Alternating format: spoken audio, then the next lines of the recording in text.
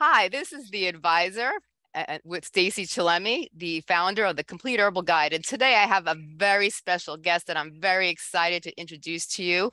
This is Faust. He is a psychologist who has been in the practice for over four decades. He's the author of Fix Yourself Empowerment series.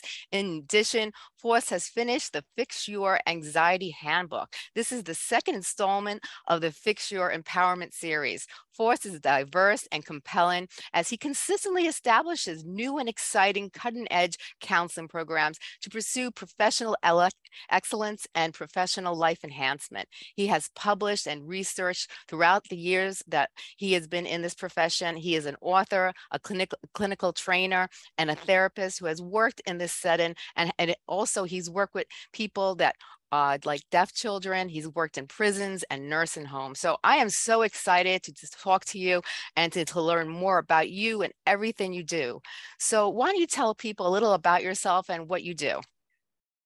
Thanks. Uh, first, thanks obviously obviously for inviting me on. You know, uh, I've been doing this for a long time. Uh, it's just was my chosen field, but it kind of chose me very early. So I'm doing what I think I was destined to do you know and i've always thought about that as you know you, you come into the world and then you, you know you hit that that period where you say geez you know this is me. This is who i am.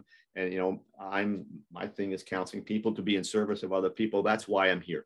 So i've been doing this in all different kinds of settings uh, prisons and cl- uh, clinics and uh, working with deaf kids and you name it in the last 33 years private practice so it's been a long ride, but you know what? I'm still doing it. I'm still having a lot of fun with it. Uh, I get up every day looking to, you know, looking forward to uh, being with the people I love to work with. And now, you know, uh, a few books later, and people are getting the message on a larger basis. So it, it's actually it, it's all fun again. You know, it's it, right. It's it's the old stuff is still there, and I still love it, and it's a whole new version of that.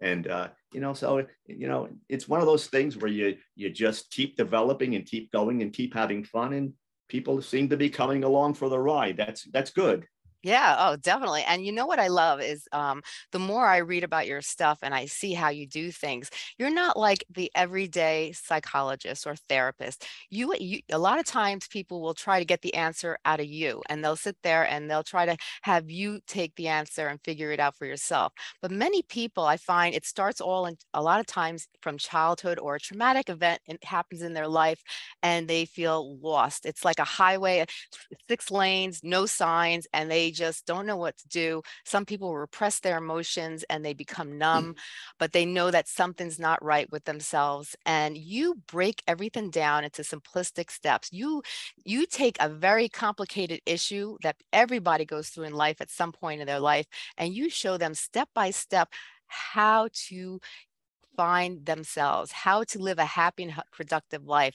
Because many people suffer from low self esteem or they suffer from issues that they just don't know how to find the answers to. And I find that your way of doing things is mm, excellent. So, why mm. don't you explain to the audience how you help people find themselves and live that happy and productive life that everybody wants to?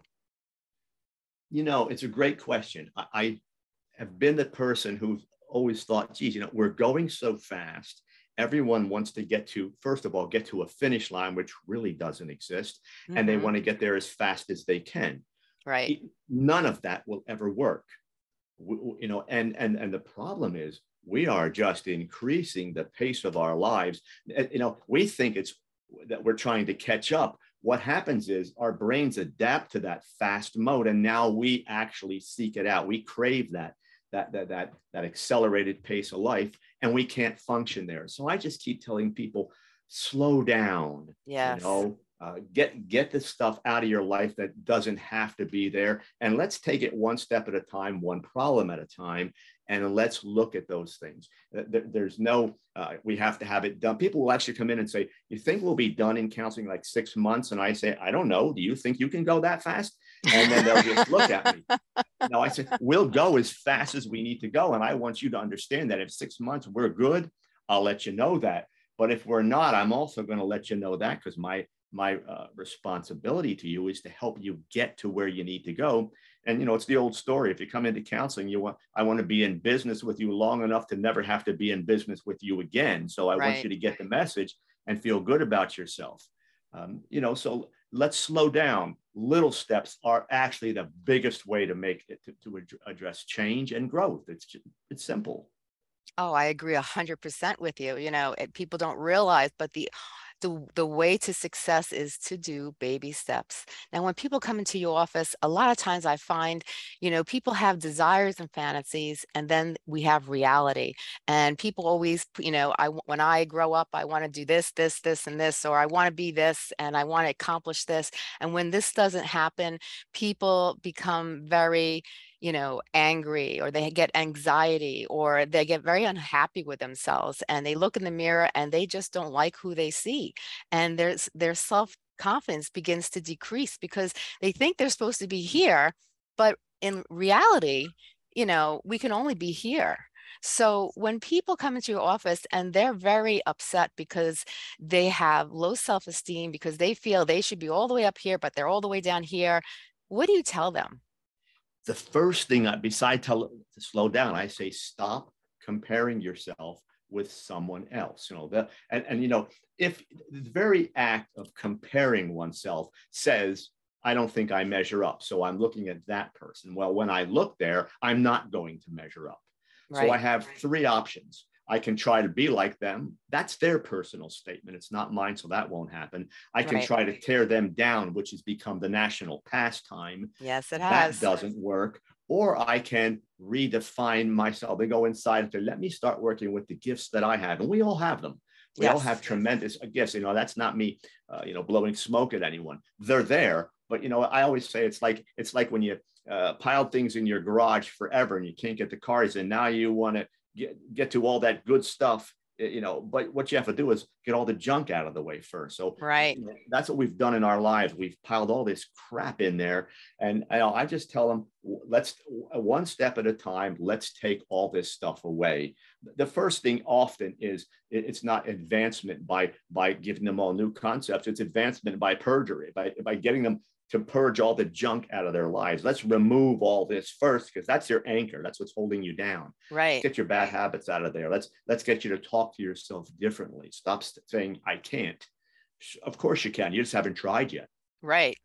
Now, how do you get how do you get that junk out of your life, and how do you know what to throw away and not throw away? It's like when you're cleaning out a closet in your bedroom, you want to keep everything, and you and you don't know what to throw away, what's junk, what's not junk how do you decipher the important stuff versus the stuff that you need to just get out of your life say that's the past and just focus on the good stuff how do you get that junk out of your life and how do you decipher what's junk and what's not junk yeah you know it's interesting when people start talking about their lives uh, what I'll I, I, I, can see it right away, but I want them to see. Are yeah. you happy when you talk about that thing that's in your life? Mm-hmm. Uh, does it make you feel good? You know, it's right, that right. use the the uh, colloquialism, but the, is it positive energy? Does it bring into your life? Does it bring make you feel good? Does is it productive? Is it serving some purpose for you that makes sense?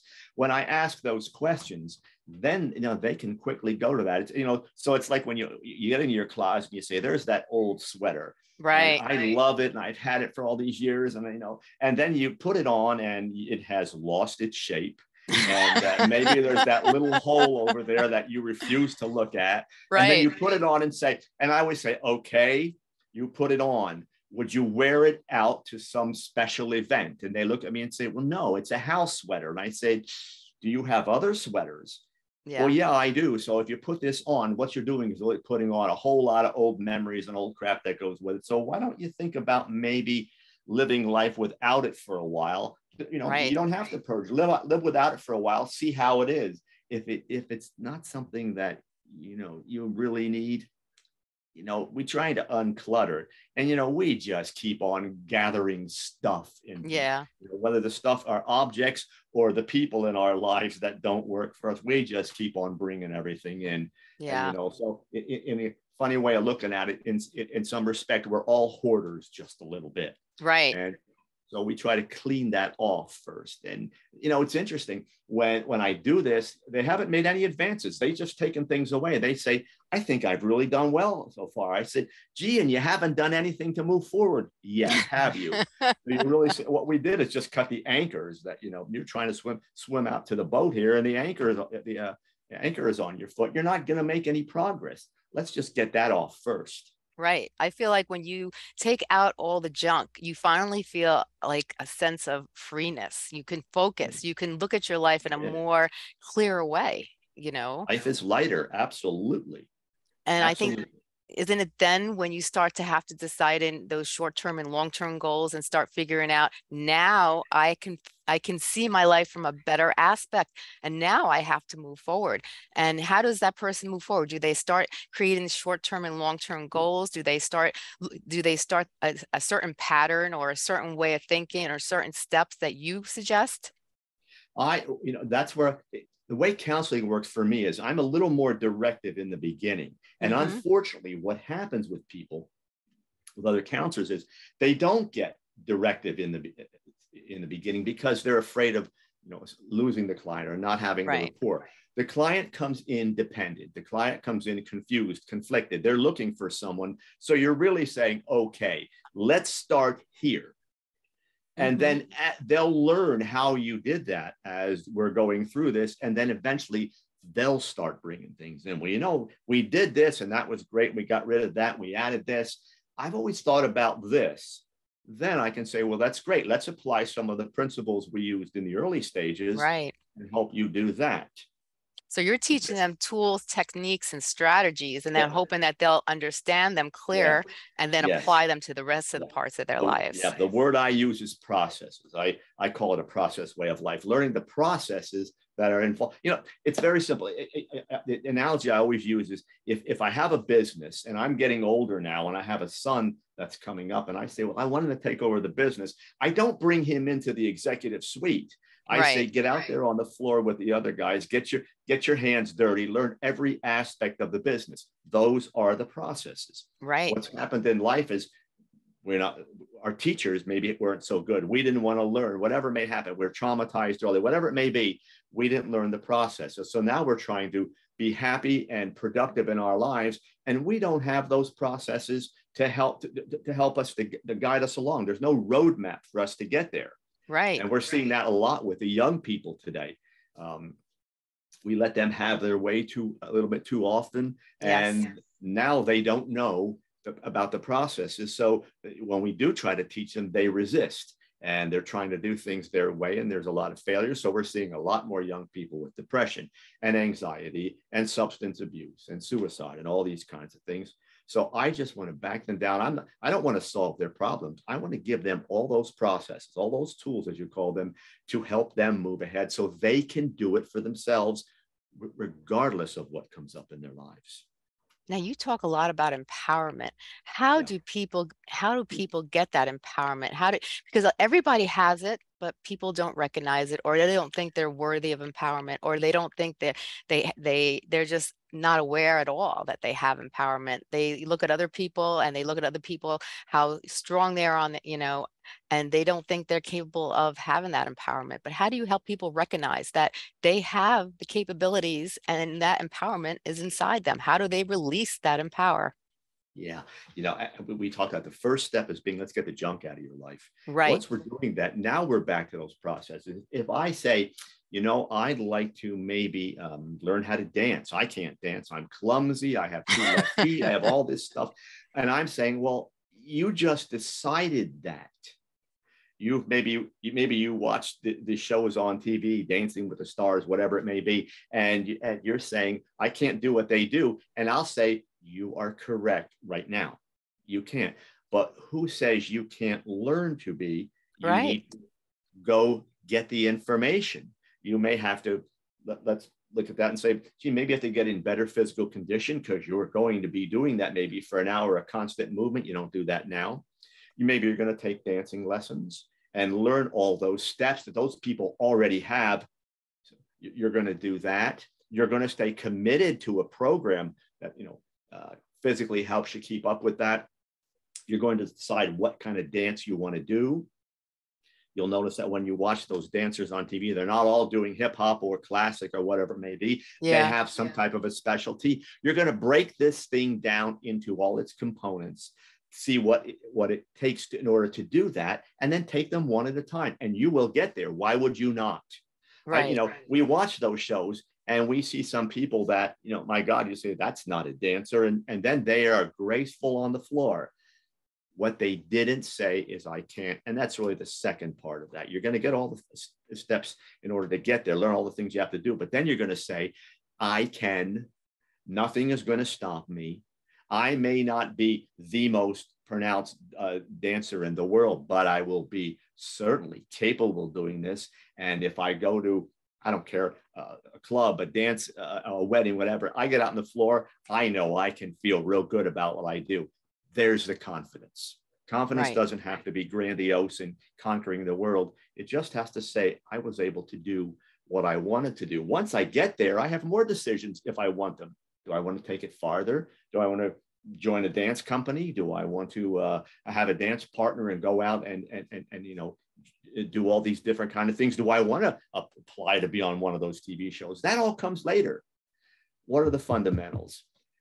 We right. broke it down to steps. That's all we did, and we got efficient at it. You know, I, I counsel a lot of people, and I counsel some actors and some professional people, and they'll all say the same thing. You know, you guys look at us and see the finished product and say, "Why can't I be like that?" It's that if you would look at the, di- the days we starved and we got used and we got kicked around and we had to learn all those things, you'd be surprised what we had to do in order to get here. You're just looking at the finished product now after maybe 10 or 15 years of us, you know, getting killed in order to do this.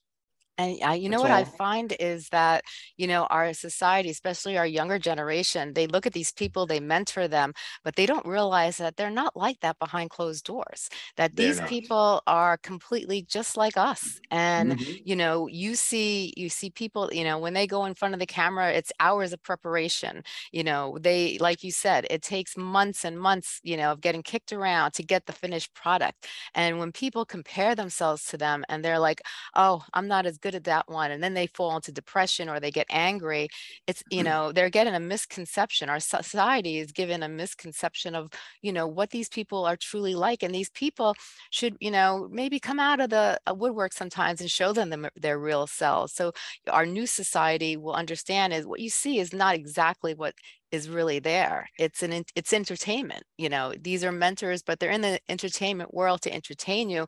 They're not it's not reality in a sense well, it, what that finished product isn't with the steps to get there. Now, I remember um, when I published the first book and, uh, and we were doing an interview, it was for PBS, first television interview I'm doing. And I was fortunate, an actor was on, on the, the, the, one of the people being interviewed, got a name of Daniel Roebuck. Uh, and he was nice enough to actually endorse the, the new book. And he, so I'm, I'm going on second, but Uh, we, they decided to start it from the car you're going to walk in from your car, and it was set in a diner. It's called counterculture. Uh, uh, uh, so you're, you're going to walk from your car and you're going to get into the diner. So I'm thinking, okay, camera will be set, and I'll walk into my car from my car, and we'll go in the diner. But they, I think it was six or seven different takes just for me to walk to the diner. And I said, we got inside. I'm sitting with Daniel and I'm saying, is that normal? And he said, yeah. He says, what you see is the finished product. He says, sometimes you'll see a five minute take, uh, and we did. It, it took us 20 minutes to get there. And, you know, it's the day that starts at five in the morning, and at one at night we're finishing, and they say, "Okay, see y'all at six. And you rush home, do something to get to bed, and you wake up, and you go through all this stuff. And that's just after you have arrived to be able to get those jobs. Right. In order to get there, you're taking garbage and whatever you're an extra uh, you're you're the guy some or the or the person someone says move along i have to get through and you know and people are nice and they're not a, nice my point is you have to be consistent and tenacious enough to say okay i'm going to do whatever it takes to get there Right. You you're doing the same thing I'm doing. You promote books, you go on this television show, you go on that thing. It takes a long time. So the first book we did so much ourselves. Okay, now I have a publicist and you pay that person to do things. So now you're right. working harder to pay that person so that you, they can go out and do those things for you. Right. You know, so when, when I'm sitting down before people, they're saying, well, look at what you did. And you wrote the book and now you're getting all these things. And I'm saying, oh, geez, wait a minute. You know, when I, before I wrote the first book, I spent an entire year learning the public and publishing industry before I even started. Right. Because I, I didn't want to learn it afterwards. You know, oh my God, I blew that one and I yeah. let's start over. So, you know, now we're, we're three, four, five years into it. And we now we have that website that has endorsements on it and we're we've got a you know a whole program and we're going to do six or seven books in this empowerment series it didn't just happen and it's right. still at a point where it's in development like every one of those people they're seeing you know you know you, you get the movie star he still he or she still auditions for the part right their publicist right. and agent have to get to the producers and say we'd like you to do our you know let our person take the part. Well, then they go in and do the readings and they still get turned down for the parts. Great right. part. I would love to have it. It turned out to be a great movie. I wasn't in it. You know, so you're you have to be, you know, you have to have that thick skin because it yes. never stops. And the higher you want to go, the more time you have to put into it, the harder you have to work, and the more you have to be willing to get kicked around because it's going to happen. And if you're willing to do that, what says you can't do what they did? Because that's all those people did. Right. Now, how does a person build their self esteem, their self determination, and develop that strength that you're talking about? Is there things they can do, exercises, um, techniques, or processes from home that could help them develop that thicker skin? Because thicker skin comes from from either things you go through life or you know maybe there's things you could do to actually help strengthen you so when you do get out there you're not as beaten down well think about what i just said because again another great question every day if you get up and say okay this is my goal today i am mm-hmm. doing these things right i am not this is the first thing i tell everyone stop with the negative language yes Stop mm-hmm. telling yourself, I can't. Stop looking in the mirror and saying, I don't measure up. Right. Don't look at anyone else and see what they're doing. You know, and, and having counseled people in those professions, when they come in and they talk to me and I say, Oh, yeah, that you're not so pretty, are you? You know, you're not uh, that person who's so empowered, everyone loves you because when you get home and take it all off, right you're still that same person you still have to talk to yourself positively so yes. for me i get up in the morning this isn't what i do now this is what i did in order to get where i am is get up right. in the morning and say whatever happens i am going to keep my head positive now it's going to happen me saying that didn't eliminate the fact that it's going to happen i will be challenged during the day instead of react and this is one of the initial uh, chapters in the book, I always call it I over E, intellect over emotion. Get your brain into the into the picture before your emotions react, because your emotions are either high or low, guarantee right. it. Right. So get them out, look at the thing. Something happened and it took you out of your game, and you say, okay, that happened, but I'm going to get right back on track because the, that's the only option I have if I want to be happy. Right. Exactly. So I make a decision in the morning. I am going to do this. These are the things I make a list every night. Tomorrow I'm doing these things. And, and, and, and you know, and uh, I, I, I get up in the morning and I have that list and I start going after it one at a time. Two things, three things will happen. Either I'll go through it all, it's been great, or I will be challenged to the point where the whole thing gets knocked out of whack, right. or I get it all done and I think, oh, this is great. I can relax. And then something else hits and it's this big thing.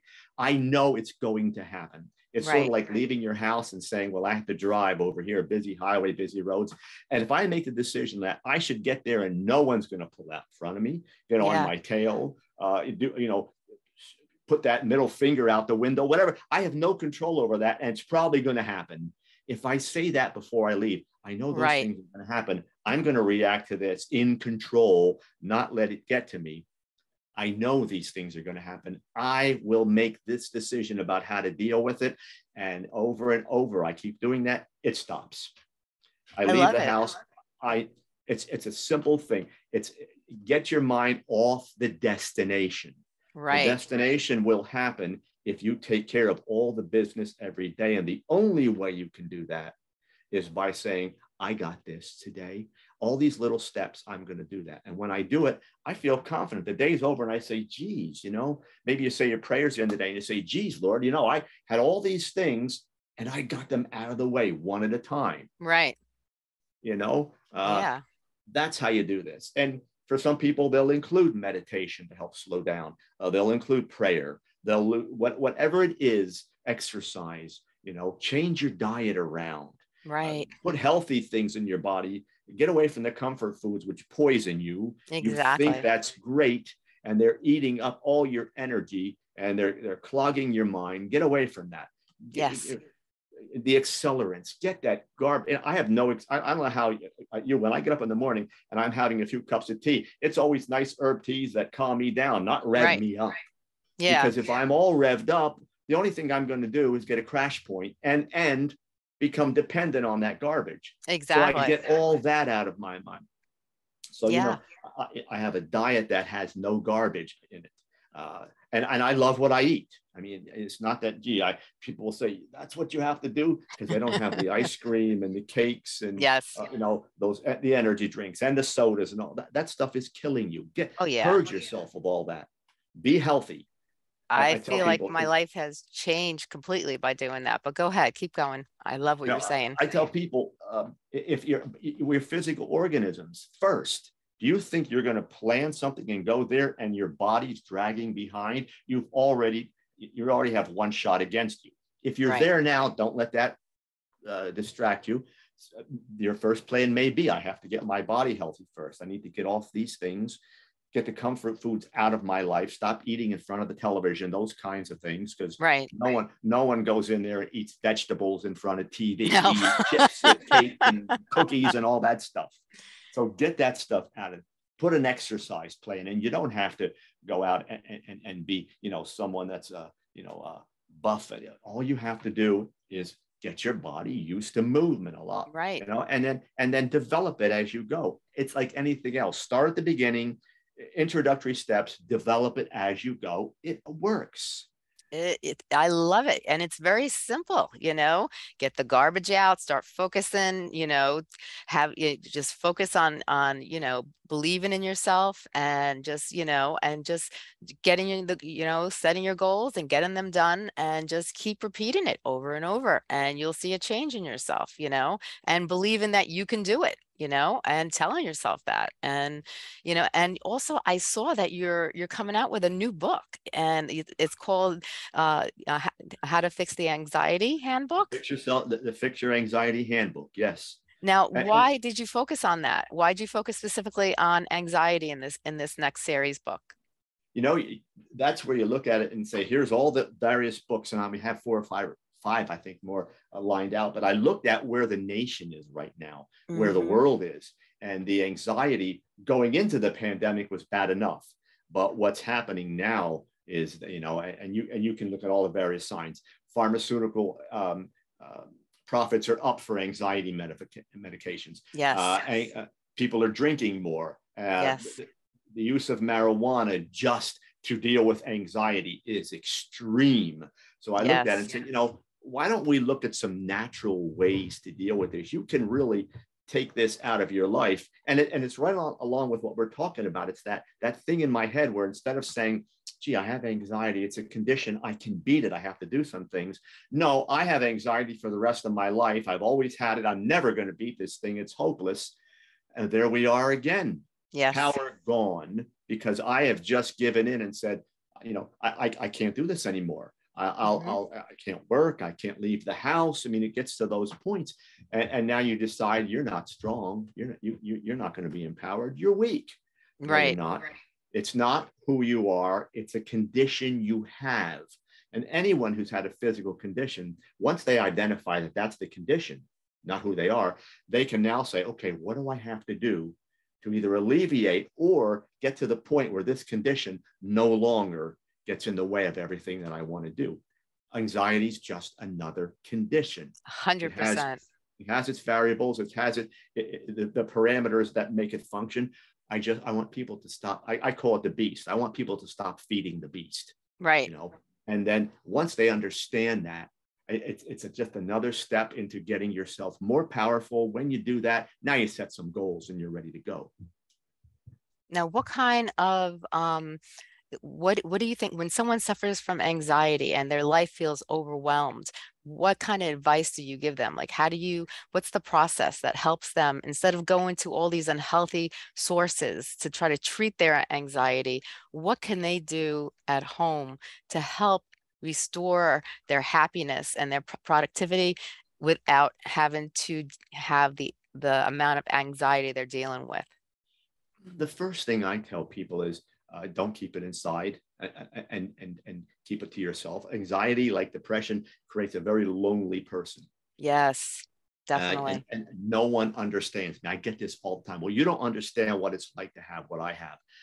and, I, and then I'll say, well, good, make me understand it. Talk to me about it. Um, so I want them to do that. I want them to learn how to slow down. I want them to remove anything. You know, I can tell you how many people come into my office with anxiety, and I say, "How do you start your day?" Mm-hmm. two, three cups of coffee. I said, well, you have anxiety. Right. You're putting an accelerant into your body. Anxiety is in essence your your your your nervous system on steroids, so to speak. Exactly. blows everything up. So why would you feed that? How much yeah. sugar is in your diet? You know, let, let's look at how, what your schedule is like. Right. You know, people who have anxiety don't sleep well. They right. go to bed at three and four in the morning. They get up at nine o'clock. You're, they're all over the place. So we we have to get to that physical part first, and that's what I tell people. Anxiety before you know, anxiety hits the body, then it, the emotions grab it, then the intellect gets compromised. So I say, right to the foundation. We have to get you physically okay. That's our first thing. Right. And uh, I, you know, they'll come in the office and they're on four medications, and I say, what are they for? And you know what they all answer me? I don't know, anxiety, I think. Oh, gosh. Did you ask your doctor why he's prescribing that? so now what they've done is relinquish control of their life, assign it to a, another person who yes. prescribes pills for a living.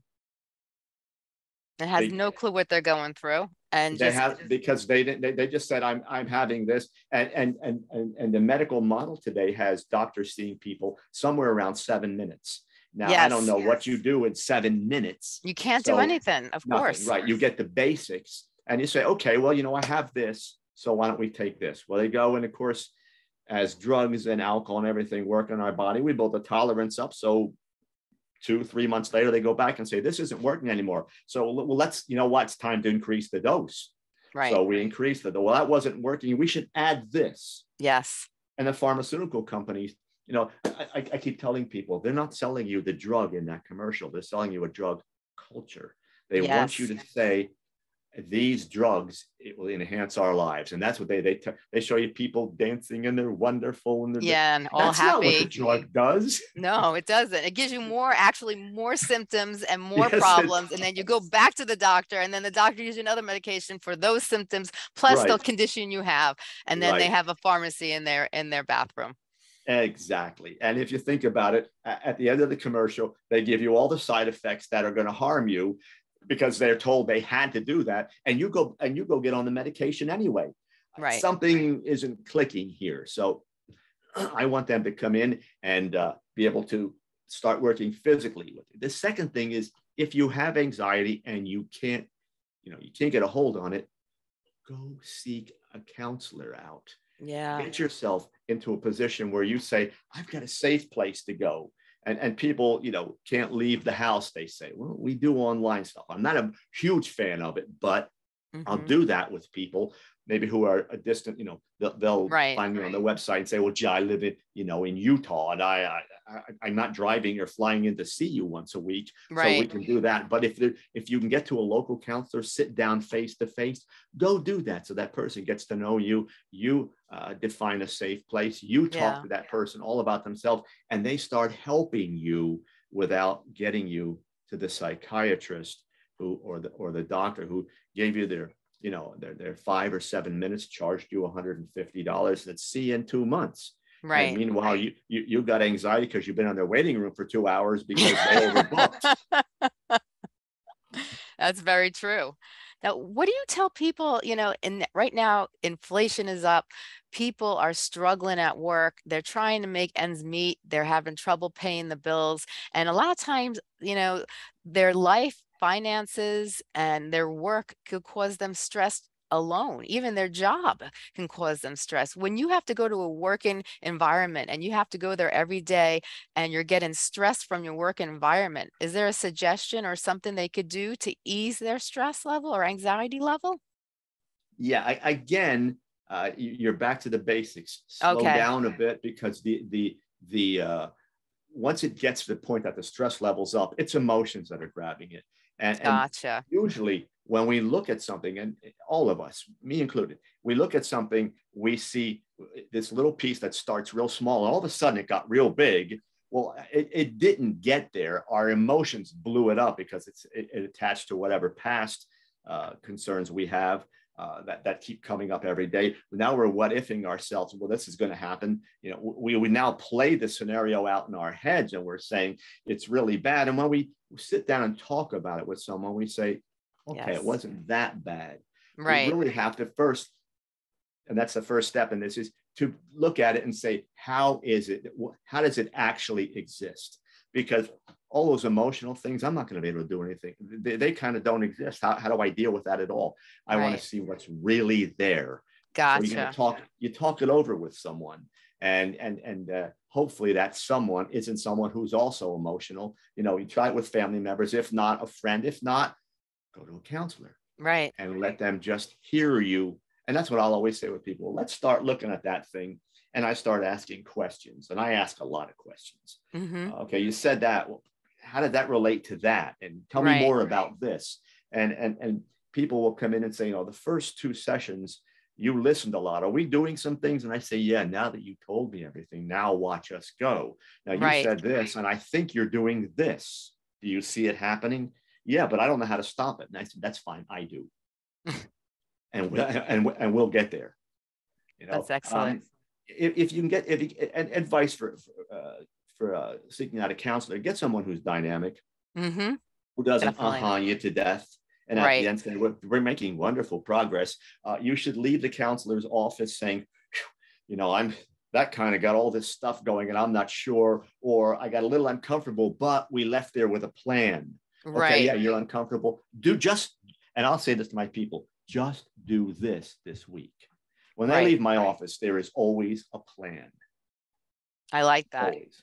It always should be a plan. I, I like that. And it might be something small. You know, uh, the agoraphobic I might say, just go out on your front porch for five seconds. That's all I want you to do this week. And, and they'll say, well, that's not a whole lot. I said, no, yes, it is, because you just crossed a boundary. That's right. huge. Go out on your porch. The next time I might say, get on the porch for a minute or at least as long as you can go. Go out there and breathe. Take a few deep breaths out there. And before I know it, I have them sitting on their front porch. Now we might be talking about taking the walk. The walk right. may only be around the yard if there's a yard. Uh, it may just be up and down the sidewalk whatever it may be. If it's an apartment building, it may be they're going up and down the, the, the steps, whatever. Just go be someplace else. And we'll start building that because then I can get them to the point that they're willing to leave the house and go to a counselor. That's excellent. So I like that. All those little things. It's a plan. When they leave, you know, when, when I say that, you know, you and I might say, well, I'm just going to go stand on the front porch. Sounds small. When I when they leave, the emotional drag from getting to that from the living room to that front porch right. could be huge. There's oh, that, yeah. that boundary is is an invisible line, but to them, it's it's a five foot cement wall. And, and I like that. You're you're not telling them what to do. You're giving them simple little goals, little things, and it's leading them to a bigger thing that's going to help them at the end. Yeah. And the other thing I do with people is if they said it, I can't do this, I got it. I don't say, sure you can. I don't go there. I, I, I don't give them false hope. I right. say, okay, you say that's the way it is right now. Let's start looking at the steps we have to take to do that. Now I validated their fear. That's right. okay. I even if in my mind I look and say, well, you know, some of that's irrational. I don't tell them that because everyone else already has. Right. Everyone else will say, come on, that's ridiculous, or you can do this. Why are you not? I don't do any of that because they've heard it all. Right. You tell me you can't leave the house. Okay, I got that. let's see if we can do some little steps. You can't get on the porch? Stick your head out the window to start. Whatever we have to do, let's start, but let's make some little steps. That's all. I like it.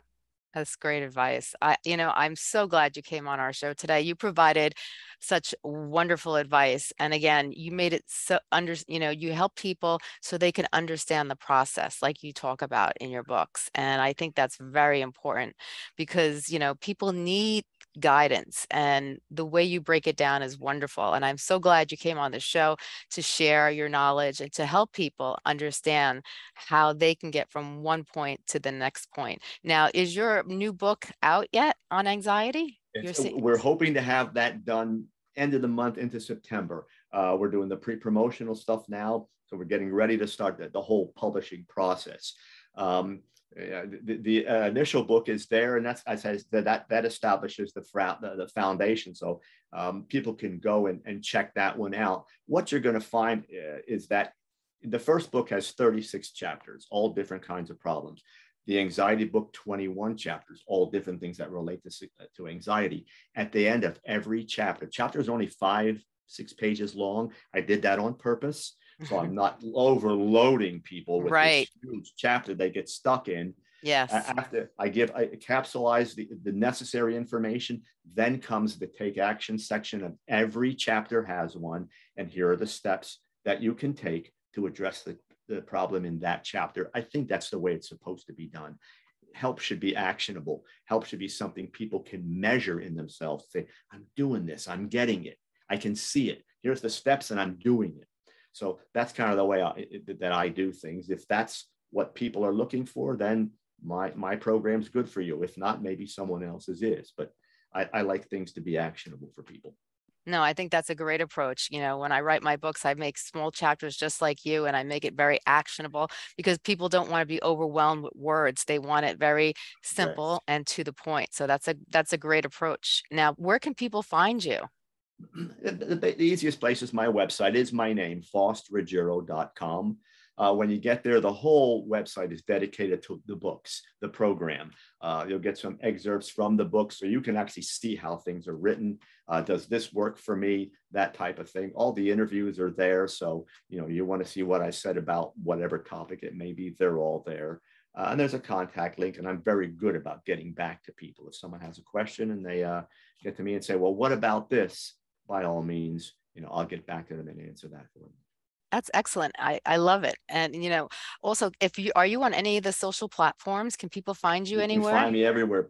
Facebook, Twitter, Instagram, you know. you know how they make us do all those things. Yes. so they're all there. All right, awesome. That is great. Thank you so much for coming today. Thank you for everything you do. And I love talking to you today. And, you know, this is something that could, you know, really help a lot of people. So once again, thank you for everything you've done. And is there anything else you'd like to tell the audience before you go? You know what? To close up, again, I reiterate the same thing. You've got everything inside you. You haven't learned how to find that yet. And that's what we're, we're all teaching learn how to access what's inside you. Stop looking outside of you. Stop comparing and envying other people. Never tell yourself you can't. Uh, tell yourself you can, but you just have to break it down into the small steps that you're able to accomplish. And one after another, don't worry about the destination, one after another, if you accomplish those steps, that destination is going to become reality. You just have to be willing to do the work. That's all. Excellent advice. Thank you so much, Faust. It's been a pleasure having you on my show, and I hope to have you on you know, sometime in the future. Thank you. And I would love that. I think it's been a great experience. I, you know, and uh, anytime you need me, you know where I am. Thank you so much. Have a great day. You too. God bless.